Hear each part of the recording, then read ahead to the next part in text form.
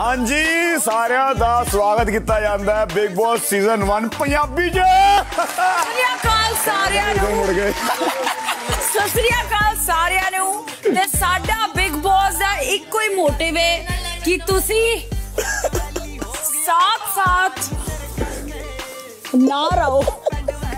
ਦੇਖੋ ਜੀ ਜੇ ਨੀਲ ਜੀ ਹੱਸ ਪਏ ਦਾ ਮਤਲਬ ਸ਼ੋਅ ਹਿੱਟ ਹੋ।